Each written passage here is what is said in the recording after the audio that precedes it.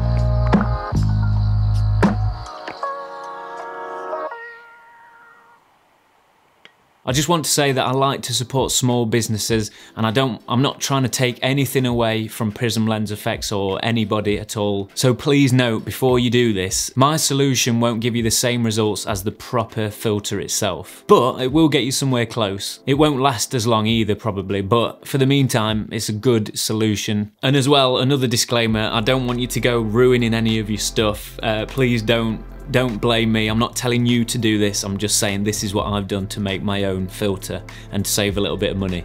I'm not telling you to ruin your stuff. Don't ruin your stuff. Right, so the filter that I used for this little project is the Gobe filter. Is it Gobe or Gobi? Gobe? There's a link below along with the other links. So I've used this filter, but you can use any filter. I think Jessops do one for about four pounds. I've gone for this one for a few reasons. One, because it's affordable and if it goes wrong, I can just wipe the lens and I don't mind if it breaks or anything like that. But the second reason is when you buy any of the Gobe Gobi, Gobe products, they plant five trees for you. So it's going to a really good cause. So I think it's good to support companies that do things like that for the environment there's my uh, little bit for the for the world. World. Now before I sprayed the filter itself, I actually practiced on some square sheets of clear plastic to make sure I was spraying the right amount because I didn't want to overspray, didn't want to underspray. So I thought I'd test it first. Anyway, turns out that any more than four sprays is too much and it's just, no, nothing can be in focus then because the lens just focuses on, on those little particles. So between two to four sprays is the perfect amount. Just bear in mind that if you raise the f-stop on your camera too far, it starts to focus in on those little particles. So just be mindful of that. Um, it works really well at lower apertures. But that's the same with anything. If you get a bit of dust on your lens, you'll be able to see it if you got the aperture really high.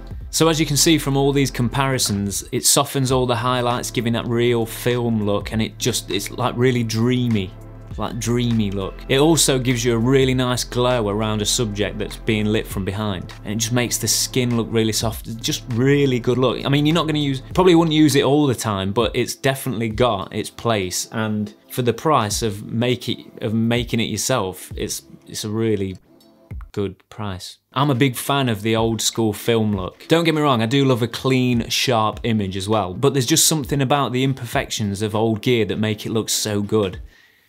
Oh, I love it, I do. I love it. Now you've got to be really careful with the filter once you've done this because the hairspray is quite sticky so it's probably going to get dust particles on it and if you touch it you're going to get fingerprints in there. So just be really careful when you're handling the filter. Make sure you keep it in the case if you've got one. It's a good in fact that's a good idea. If you're going to buy one of the filters get one that comes with its own case. Now Prism Lens Effects also has another com has has have Prism Lens Effects also have another company called Tropic Colour, and they create all sorts of post-production tools for videographers, filmmakers, and photographers. I've purchased a few of their products myself, and they're so good, honestly. If ever I'm thinking about buying anything that's gonna help my workflow or enhance my production quality, they're the first place I look. Tropic Colour, I'll leave a link in the description again, but they're amazing, so go and check them out. I could, I'd buy it all if I could, to be honest. Anyway, that's pretty much it. If you if you like this look and you've got the money, definitely go and support Prism Lens Effects. Great company. But if not, and you want to give this a try, let me know how you get on. I'd love to see the results that you get as well. Hope you like the video. Just a little short one today, I think, I suppose. But it's fun. It's been really fun making this and seeing the results. I didn't think when I first had the idea that I'd get anywhere near as good results as I have, but it just shows you what you can do with some hairspray and an affordable filter. I'm working on some stuff at the moment. There's loads of videos that I've got coming up. I've got another giveaway for a film look piece of software. That's gonna be really, really exciting. So stay tuned for that one. And I'm also working on my own vintage style Canon C-Log LUT pack. So, and it's looking really good. I can't wait. There's a there's a little there's a little sneak peek. Look, look at that. Anyway, thank you for watching. Don't forget to subscribe to the channel for more gear reviews, tutorials, and all that. I'm also on Instagram, so head over there and I'll see you there. And uh, I think that's it. Right, thanks for watching. See you in the next one. Have a good week.